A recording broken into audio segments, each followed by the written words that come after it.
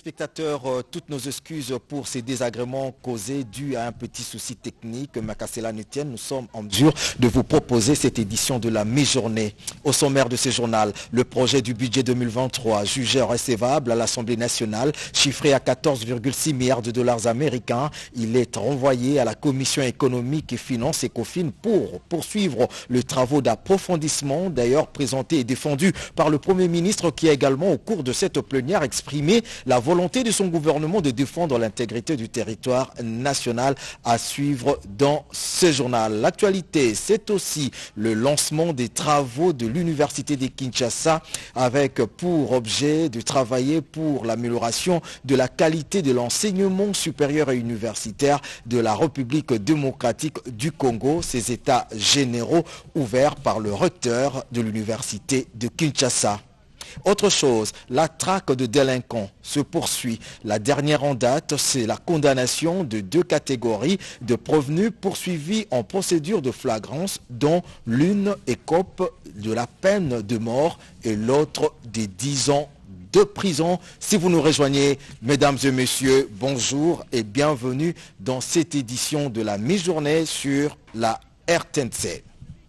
Le président de la République, Félix Antoine Tshisekedi Chilombo, a reçu hier l'émissaire de la République du Niger, Al-Kash Alda, venu lui apporter l'invitation pour prendre part à, à un double sommet de Niamey du 20 au 25 novembre prochain sur l'industrialisation de l'Afrique.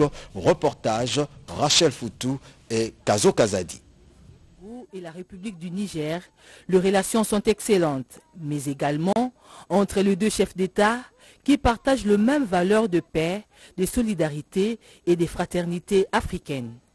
Le chef de l'État Félix Antoine Tshisekedi Chilombo a reçu ce mardi 1er novembre dans son bureau de travail de la Cité de l'Union africaine l'envoyé spécial de Mohamed Bazoum, président du Niger, porteur d'un message relatif à l'organisation d'un double sommet de l'Union africaine. Ce double sommet, qui se tiendra à Niamey, capitale de la République du Niger, du 20 au 25 novembre prochain, va traiter essentiellement les questions sur l'industrialisation de l'Afrique d'une part et aussi la zone de libre-échange continentale. Je suis euh, porteur euh, d'un message euh, de son Excellence le président Bazoum Mohamed, président de la République du Niger, auprès de son frère et ami, le président Tshisekedi. Euh, donc son Excellence, euh, le président Bazoum Mohamed a, invité son Excellence euh, Félix Antoine Tshisekedi à participer à, ce haut sommet qui se tiendra en Niamey le 25 novembre. La situation sécuritaire dans la partie est de la RDC a également été évoquée. Al-Kaché Alada, ministre du Commerce de la République du Niger, envoyé par le président nigérien, a ému le vœu de la République du Niger, ceux de la paix et la quiétude sociale. Vous savez, euh, euh, depuis euh, la création de l'Union africaine, le principe de l'intangibilité des frontières et puis le principe de non-agression aussi entre les États existent. Et donc de ce point de vue-là, nous restons sur ces, ces mêmes principes. L'émissaire du président du Niger a été accompagné par le ministre des Affaires étrangères de la République démocratique du Congo, Lutundula Pena Pala. Et puis le projet de budget 2023 jugé recevable par une majorité écrasante des députés nationaux, il a été envoyé à la commission ECOFIN pour toilettage, chiffré à 14,6 milliards de dollars américains. Le Premier ministre Jean-Michel Samaloukonde a rencontré de manière pertinente les multiples préoccupations des élus. On fait le point avec Sylvie Mwembo et Bernard Baudot majorité écrasante que les élus nationaux ont déclaré recevable le projet de loi des finances exercice 2023. Sous la conduite du président de l'Assemblée nationale, Christophe Mosoko Diapwanga, le Premier ministre Jean-Michel Samaloukonde Kienge, qui répondait aux préoccupations soulevées par la représentation nationale lors du débat général sur ce projet de loi, a englobé sa réplique en quatre thématiques, à savoir les préoccupations d'ordre général sur les recettes de l'État, les questions sur les dépenses ainsi que celles liées au programme de développement local de 145 territoires financés dans le cadre du budget 2023 grâce à l'augmentation des recettes publiques et l'accroissement de 35% du budget par rapport à l'exercice 2022. Le chef de l'exécutif national a reconnu l'apport du secteur minier et les contrôles accrus de l'inspection générale des finances, sans oublier les efforts des régies financières dans la rémunération. S'agissant de l'exclusivité des petits commerces ouverts aux expatriés au détriment des nationaux, un projet de loi du gouvernement pour garantir et protéger les nationaux sera déposé au bureau de la Chambre basse du Parlement de l'organisation des élections 2023 avec un acompte de 5 millions de dollars américains déjà versés à la Commission électorale nationale indépendante, le gouvernement compte aussi sur l'implication des élus nationaux pour la réussite des projets qui seront exécutés dans le projet de loi des finances exercice 2023 avec des réponses bien précises. La Commission économique financière et contrôle budgétaire a un délai de 15 jours à dater du 2 novembre pour enrichir ces tests de projet de budget 2023. Restons toujours euh, à l'Assemblée nationale et sachez également que hier, à l'Assemblée nationale, avant d'entrer dans le vif euh, de ses réponses, le Premier ministre Jean-Michel Samalou Kondé a condamné de manière la plus ferme l'agression rwandaise dans l'Est de la République démocratique du Congo sous couvert du M23. On écoute le chef du gouvernement à ces sujets. Honorable Président, honorable membre du bureau, honorables députés nationaux. Au moment où nous sommes ici réunis dans cet exercice républicain et constitutionnel, destiné à doter notre pays de moyens de son fonctionnement, il y en a, je me sens inspiré de le dire, qui se réunissent ailleurs pour fomenter des plans machiavéliques et diaboliques visant à déstabiliser la République démocratique du Congo. Nos populations, dans la partie est de notre pays, font actuellement face à des actes de lâcheté et d'horreur de la part des terroristes sans foi ni loi qui opèrent euh, ouvertement avec le soutien du Rwanda. En ma qualité de Premier ministre, chef euh, du gouvernement, je voudrais dire à ces agresseurs ainsi qu'à leurs commanditaires, que derrière nos forces armées et derrière le commandant suprême, son Excellence Félix Antoine Tshisekedi Chilombo, le peuple congolais se défendra et défendra ce qui lui est le plus cher. Le peuple congolais se défendra et défendra ce qui lui est le plus cher, la patrie.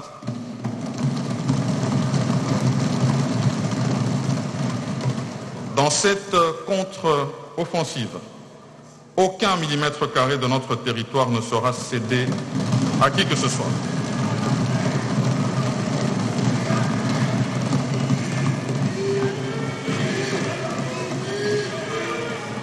Dans cette contre-offensive, aucun millimètre carré de notre territoire ne sera cédé à qui que ce soit.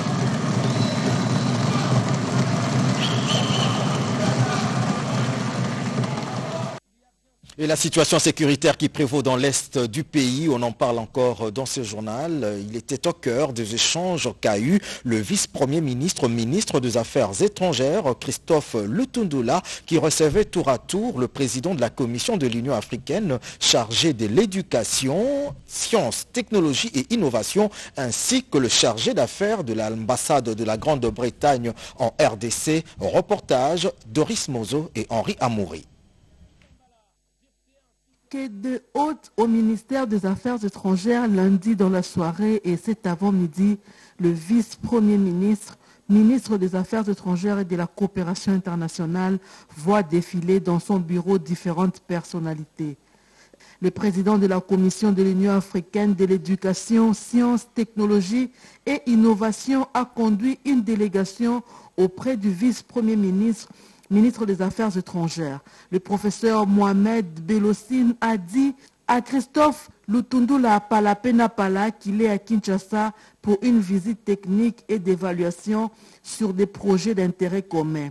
Christophe Lutundula, qui a prêté une oreille attentive aux préoccupations de la délégation, a promis tout son soutien aux différents projets qui lient cette institution de l'Union africaine et son ministère. Il a demandé à la délégation de lui donner un planning qui va lui permettre de suivre le travail fait ensemble. Un autre hôte au cabinet du vice-premier ministre, ministre des Affaires étrangères, il s'agit de Madame Sophia Willit King, chargée d'affaires à l'ambassade de Grande-Bretagne en République démocratique du Congo.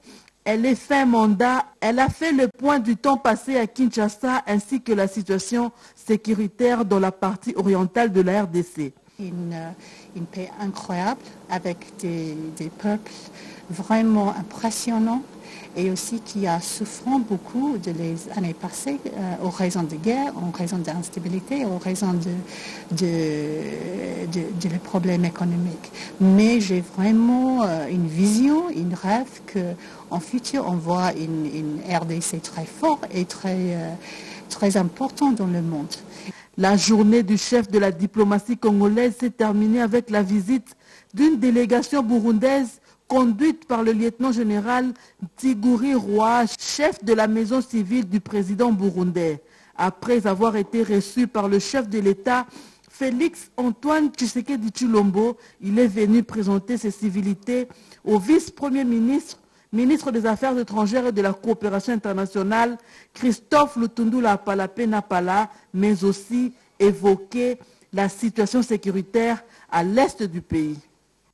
Le caucus de députés de la province de Litourie s'est exprimé sur la situation de l'insécurité dans leur province. Cette réunion des élus de Litourie a eu également pour but de faire entendre la voix des Itouriens dans les instances supérieures du pays. Reportage David Moubenga. Le caucus de parlementaires de l'Itourie a un nouveau bureau. Ce bureau, qui est issu des élections organisées ce lundi 31 octobre 2022, est placé sous la direction du député national Jean-Claude Draza, en qualité de président. Il remplace à ce poste l'honorable Serge Moubert. Les autres membres de ce bureau sont les suivants. Emmanuel Lekou, vice-président, Wilson Adirodou, secrétaire rapporteur, Madame Akumu Nyalumu, questeur et héritier Chuma, questeur adjoint. Le nouveau président du caucus des parlementaires de l'Itourie a saisi cette occasion pour définir les priorités de son mandat, parmi lesquelles figure l'organisation du forum sur le développement de l'Itourie, la problématique de l'état de siège et bien d'autres. Nous prenons le caucus des parlementaires de l'Itourie pour un mandat où il y aura plusieurs enjeux politiques. Parce que nous irons aux élections, évidemment c'était grand enjeu politique. Et en dehors de ça, il y a aussi la, la table ronde dont le, le président sortant fait allusion. C'est vrai, la province de l'Itourie continue à faire face à la situation sécuritaire jusqu'à présent. Le président sortant l'a dit, il a pris la reine de, de caucus des parlementaires de l'Itourie dans le contexte de l'état de siège. Et aujourd'hui, il quitte les, les caucus des parlementaires de l'Itourie avec toute son équipe pendant que l'état de siège continue. Moi, je pense que nous allons, pour ces contextes, continuer les travaux que lui a, avait déjà amorcés avec nous ensemble. Et parlons encore de la province de l'Itourie. Les ambassadeurs des Pays-Bas, du Sénégal, du Canada en poste en RDC s'engagent à faire euh, le plaidoyer non seulement à la communauté internationale, mais aussi au gouvernement congolais sur la situation sécuritaire qui prévaut en Itourie, une situation marquée par plusieurs avancées notables. Regardez. Les avancées sécuritaires enregistrées en Itourie sous l'état de siège, saluées par trois ambassadeurs accrédités en RDC, à savoir celui des Pays-Bas, du Canada et du Sénégal. Cependant, ces diplomates qui ont échangé avec le gouverneur militaire de l'Itourie dans la soirée du lundi promettent d'être l'interprète fidèle auprès de toutes les instances pour que la paix soit complètement rétablie dans cette partie du pays on est sorti avec de l'espoir. On a vu quelqu'un de très engagé et qui vraiment, à travers les discussions qu'on a eues, il y a de l'espoir. Donc il nous a expliqué en fait que au-delà des apparences, la violence est en train de s'estomper et que ça ne reste que dans certaines poches, notamment autour des mines. Mais d'une façon générale, les communautés ont commencé à se parler. Et ça, c'est une très très bonne chose. De notre côté également, ce qu'il faut comprendre dans notre démarche, c'est la communauté internationale qui vient sur le terrain pour dire, montrer sa solidarité avec le peuple congolais. Parce qu'il y a beaucoup de narratives sur euh, un tout petit peu la communauté internationale qui a lâché le Congo. C'est encore une fois pour vous dire non. Nous sommes vraiment préoccupés par ce qui se passe ici et nous ferons tout ce qui est à notre pouvoir donc, pour que cette situation, on, en sorte le plus rapidement possible. D'avoir trois ambassadeurs qui sont là en Ituri, ça est aussi pour montrer notre engagement en tant que communauté internationale de tous les continents. Nous sommes venus pour montrer notre engagement et de discuter avec la population, de voir comment ça va, parce que ça a duré trop longtemps, le conflit, et on a besoin de la paix. On est ici pour vous dire qu'on est avec vous. Pour sa part, le numéro 1 de la province de l'Itourie, le lieutenant général Lubuyanka Johnny, salue cette visite porteuse d'espoir pour cette province. Pour moi, un grand plaisir, surtout un réconfort au nom du peuple euh, iturien, je tiens vraiment à remercier parce que vous savez que avec tout ce qu'il y a comme manipulation, tout ce qu'on dit de l'Itourie, on ne pouvait pas s'imaginer qu'aujourd'hui on pouvait voir des grands ambassadeurs ici chez nous. Et surtout aussi la CPI qui a permis qu'aujourd'hui il y ait, n'est-ce pas, cette visite-là et pour qu'on puisse aussi échanger davantage sur les réparations, voir comment est-ce que les populations peuvent vivre en cohésion. Signalons que L'agenda de cette délégation en Itourie prévoit plusieurs activités, notamment la rencontre avec des victimes des atrocités commises par certains groupes armés de la région dans le cadre du fonds au profit des victimes, une manière de trouver réparation un reportage signé Junior Selemani. Le développement du niveau gazier de l'Afrique australe est l'une des attentes de la 41e réunion conjointe de ministres de l'énergie et de l'eau de la SADEC, des assises qui se tiennent ici à Kinshasa, réunissant les représentants des pays membres. On fait le point avec Marie Kalong. La 41e réunion conjointe des ministres de l'eau et de l'énergie de la communauté de développement de l'Afrique australe SADEC en sigle a comme thème principal la promotion de l'industrialisation au moyen de l'agrotransformation, la valorisation des minéraux et le développement de chaînes de valeur régionales en vue d'atteindre la croissance économique et durable. Cette session a comme particularité d'examiner la possibilité de développer le projet du plan directeur gazier. Les hauts fonctionnaires et experts de la SADEC qui prennent part à cette réunion conjointe des ministres réfléchissent sur les différents amendements des États. À ce stade, les amendements des États membres concernant le gaz et l'électricité ont déjà été examinés. Il reste encore ceux en rapport avec l'hydraulique. C'est un projet très ambitieux qui détermine plusieurs corridors gaziers, notamment il y en a un qui partira de l'Afrique du Sud jusqu'à chez nous, etc. Et si vraiment ça marche, eh bien, ça sera formidable on, euh, on aura une source d'énergie euh, capitale, euh, vitale, fiable et propre. Ça ne sera pas comme le charbon qui nous pousse à couper nos arbres, etc. Donc il faut le soutenir. ces assises ont permis à la République démocratique du Congo, pays solution, de faire entendre sa voix. Aujourd'hui, la RDC a fait entendre sa voix. Il fallait donc qu'on puisse voter des amendements. Il y a de ces, résolutions qui ont été prises pendant que nous, on n'était pas là. En matière de, gaz, la partie australe est très développée dans ces domaines. Par contre, nous, on a le gaz dans la Kivu, mais qui n'a jamais été exploité par les Congolais. Donc c'est des choses comme ça lorsque nous apportons notre voix. Les choses bougent, on s'intéresse à nous. Les ministres de l'énergie et de l'eau de la SADEC vont se réunir le jeudi 3 novembre pour décider sur la validation des différents amendements afin d'atteindre le développement de la sous-région. Tonnet, le directeur général de la Régie des eaux, euh, s'est entretenu euh, avec euh, en compagnie justement de son adjoint Jean Bosco Mwaka, a présidé une réunion de prise de contact avec tous les directeurs centraux et autres cadres conseils de cette entreprise publique pour le bon fonctionnement de cette institution. Reportage signé Dieu merci Sueka et Serge Merlet-Mota.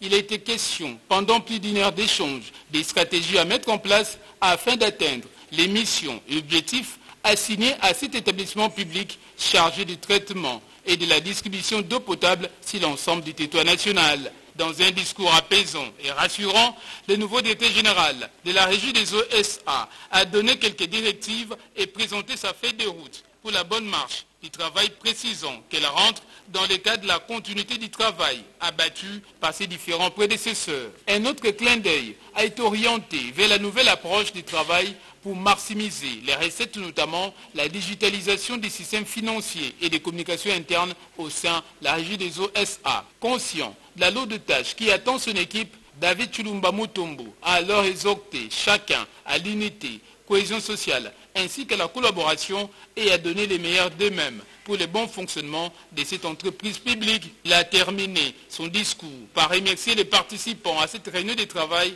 pour l'accueil chaleureux qui lui a été réservé. Tout ce que nous allons construire comme valeur, euh, ce sera autour de cet objectif-là, donner de l'eau aux citoyens congolais.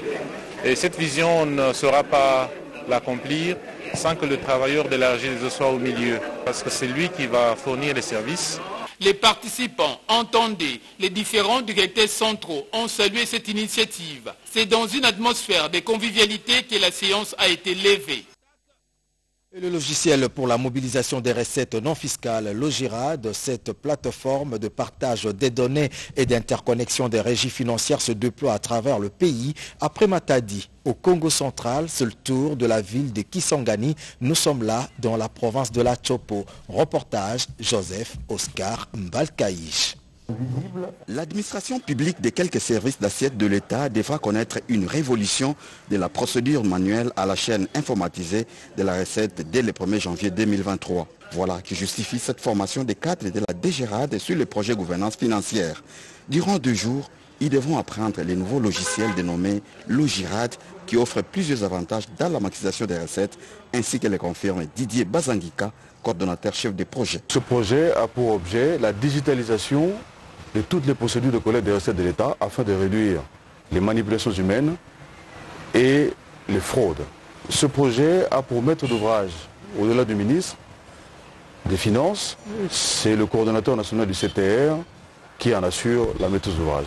Henri Kumbo, directeur provincial de la DGRAD, salue la tenue de ces assises et promet son implication totale. Il s'agit ici de notre implication pour pouvoir accompagner la modernisation de toute la procédure de la recette. Le GIRAD, c'est un outil qui est mis à la disposition de la régie financière pour pouvoir assurer de la transparence. Cinq services d'assiette, dont le mine, la DGM, la DGRAD, les affaires foncières et les pétentiques, sont concernés par cette formation financée par l'Union européenne. A noter que les cadres de ces cinq services précités ont été déjà formés à Lubumbashi, Kolosi, Katanga et Matadi. Sachez également que le territoire de Demba vient d'être doté euh, d'une euh, école nouvelle euh, comportant 10 salles de classe. C'est un reportage signé Nono Mantekou. L'insuffisance d'infrastructures scolaires est l'un des défis à relever pour pérenniser et rendre effective la gratuité de l'enseignement initié par le chef de l'État, Félix Antoine Tshisekedi Chilombo soucieuse de matérialiser ces programmes qui a permis à tous les enfants sans discrimination à accéder à l'éducation des bases. Lisette Sanga Nangala Mouloumé, patriote et digne fille du pays, a à travers la fondation Lisanga doté les territoires de Demba dans la province du Kassai central d'un bâtiment scolaire de qualité avec plus de 10 salles de classe et un bâtiment administratif ayant des latrines viables. Très motivé pour appuyer la formation des jeunes par des actions concrètes, la présidente de la Fondation Lisanga s'est dit déterminée à accompagner la vision du président de la République dans le secteur de l'éducation. L'acquisition de cette école dénommée Complexe scolaire Lisette Sangana a redonné les sourires à toute la communauté de Demba. Les enseignants et élèves ont tous bénéficié de fournitures scolaires pour un bon enseignement. Ils n'ont pas hésité de remercier la bienfaitrice qui, à son tour, les a exhortés d'en faire bon usage. Je me suis confié cette mission de rendre l'enseignement de qualité dans les locaux adaptés à notre jeunesse en construisant cette école, à ce jour, nous continuons à mobiliser des efforts pour des salles supplémentaires, pouvant abriter une bibliothèque, une salle informatique pour les pratiques professionnelles. Je voudrais ici saluer la nouvelle équipe de cette école pour son implication dans la réussite de ce projet afin de relever le niveau de nos enfants. Ces gestes de générosité posés par la Fondation Lisanga devraient inspirer les autres à soutenir les secteurs de l'éducation par la formation de la jeunesse à venir des demain invitons aux bienfaiteurs d'emboîter les pas d'Elisette Sangana. L'actualité, c'est aussi l'ouverture des états généraux à l'université de Kinshasa en présence de la, de directeur de cabinet adjointe du chef de l'État, Nicole Boacha, et plusieurs invités. L'objectif est de travailler pour améliorer la qualité de l'enseignement supérieur et universitaire en RDC. Reportage Rodépanda. Lancement des états généraux de l'université de Kinshasa. Du 1er au 4 novembre 2022, les intelligences des scientifiques seront en exercice pour réfléchir sur les questions qui concernent la qualité de l'enseignement supérieur et universitaire. Plusieurs personnalités du monde scientifique et autres invités venus de différentes institutions universitaires du pays n'ont pas manqué cet événement. L'hôte du jour, le professeur Jean-Marie Kayembentumba, recteur de l'UNIKIN, a brossé dans son mot de bienvenue le tas des lieux de cet alma mater hier et aujourd'hui. Occasion pour lui d'émettre son vœu et désir ardent de voir ses assises produire des recommandations fermes pour que cette université demeure la référence de la fille aînée des universités en RDC avec comme credo l'unique solution. C'est l'occasion pour nous d'inviter toute la communauté à l'adhésion massive à la co-gestion de la cité afin que l'université de Kinshasa retrouve son élan d'antan.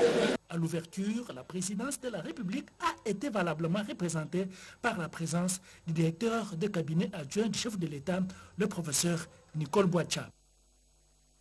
Et pas de discrimination à l'endroit des groupes de personnes vulnérables pour une bonne sensibilisation sur les droits de cette catégorie de personnes. Le réseau Rakoji et autres partenaires de la société civile ont organisé une matinée d'échange, reportage Rodépanda. Les réseaux des associations des jeunes RACOGE et les centres d'expertise en droits de l'homme et criminologie CEDHUC restent préoccupés et militent en faveur des personnes vulnérables, notamment les groupes des homosexuels, les transgenres, les lesbiennes et les professionnels des sexes au cours d'un café de presse organisé ce lundi 31 octobre 2022 au siège du programme national multisectoriel de lutte contre les sida PNMLS, les experts du RACOGE et CDHUC, en face des professionnels des médias, ont échangé autour de la question. Différents orateurs ont tour à tour démontré l'assistance que devrait bénéficier cette tranche de la population en République démocratique du Congo. Les droits humains et les mandats de la Commission nationale des droits de l'homme, CNDH, les contributions du projet initiative pour la bonne gouvernance inclusive sont parmi les thèmes développés. Précision de maître Serge Tamundeli. Euh, le projet vise l'inclusion sociale. Il faut que les décideurs euh, puissent euh, devenir redevables à toutes les communautés. Et comme on dit toujours que le média est un pouvoir puissant, c'est le quatrième pouvoir. Alors il faut vraiment organiser cet espace démocratique, discuter avec la communauté, avec les acteurs, les, experts, euh, pour voir dans quelle mesure euh, les professionnels euh, de médias doivent devenir aussi responsables vis-à-vis de leur travail en respectant l'éthique professionnelle, en étant objectif dans le traitement de certains dossiers. Les professionnels des médias ont pris l'engagement pour ces projets initiatives pour la gouvernance inclusive. Vous avez reconnu la voix de Chantal Okoloba et depuis le 29 octobre euh, dernier, le drapeau de l'Union pour la nation chère à Vital Caméré flotte euh, dans son quartier de la commune de Ngaliema. Il s'agit des Boami Massassi où le secrétaire politique national de l'UNC et conseiller du chef de l'État au collège Mines et Énergie, Patrick Kawara, a présidé la cérémonie d'installation de ce bureau. Euh, commentaire Junior Yangumba. Depuis le samedi 29 octobre 2022, le drapeau de l'Union pour la Nation, cher à Vitel Caméré, flotte dans un quartier de la commune de Ngaliema. Il s'agit de Boamima Sissi, où le secrétaire politique adjoint de l'UNC et les conseillers du chef de l'État au collège Mine Énergie, Patrick Kawara, a présidé la cérémonie d'installation de ce bureau. L'action vise à se rapprocher de la population et de promouvoir sa vision de développement à la base qui consiste à répondre aux multiples besoins de la population congolaise l'accès à l'eau et à l'électricité, la réhabilitation de la route reliant Boadi à Lupène, les problèmes de délinquance juvénile, la scolarité des enfants, la liste n'est pas exhaustive. Un autre temps fort a été la remise de la clé du bureau de l'UNC Boadi Massissi ou secrétaire sectionnaire et la coupure du ruban symbolique par mademoiselle Tété Geko. Sous la coordination de M. Patrick Awara et le notable de Boadi Dimassissi. Les conseillers du chef de l'État est vivement applaudi dans ce quartier qui constitue aussi son fief naturel. L'UDPS se place déjà sur euh, la ligne pour les élections de 2023 et dans le cadre de préparatifs, le président de la Ligue de jeunes de l'UDPS, Amissi Makutano, est descendu dans sa cellule de Ngiringiri. Encore une fois, Rodépanda signe ce reportage. 2023, placé sur la ligne, le parti présidentiel, l'Union pour la démocratie et le progrès social UDPS, affûte déjà les armes avec précision. L'appel à l'enrôlement massif et l'enregistrement de membres en est la preuve.